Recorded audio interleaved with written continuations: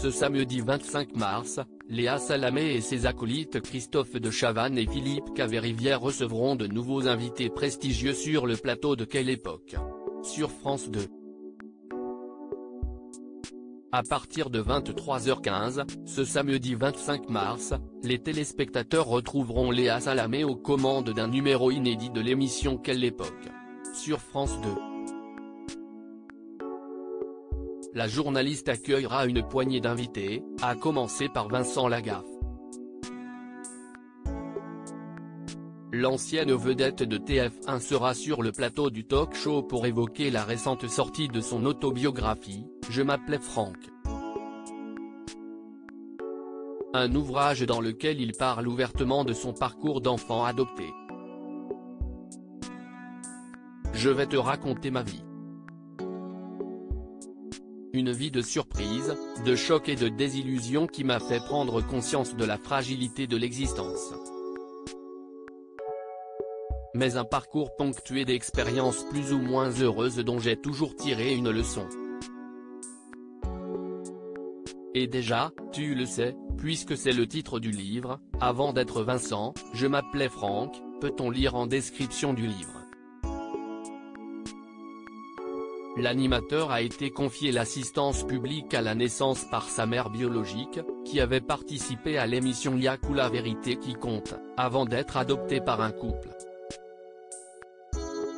Lorca l'ami invité de quelle époque? Aux côtés de l'animateur, les téléspectateurs retrouveront le journaliste Tristan Walex, qui présente notamment Complément d'enquête, le chanteur Enrico Macias, ainsi que Laure Calami. La comédienne vue notamment dans 10% est à l'affiche du film Bonne Conduite, réalisé par Jonathan Barré, à qui l'on doit la folle histoire de Max et Léon, dont la sortie est prévue ce mercredi 29 mars. Violette Dursault, la fille du mannequin Inès de la Pressange, sera aussi de la partie. La jeune femme a publié son premier ouvrage Même le bruit de la nuit a changé. Un livre inspiré de l'histoire de son père, Luigi, décédé des suites d'une crise cardiaque en 2006, alors qu'elle n'avait que 6 ans.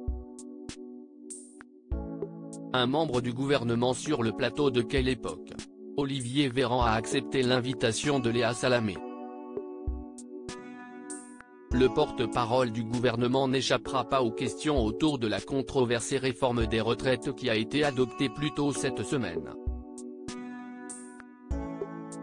Après le rejet des deux motions de censure contre le gouvernement formé par Elisabeth Borne, de nombreuses manifestations ont été menées à Paris et un peu partout en France. Des rassemblements qui ont souvent fini en affrontement entre les forces de l'ordre et les contestataires.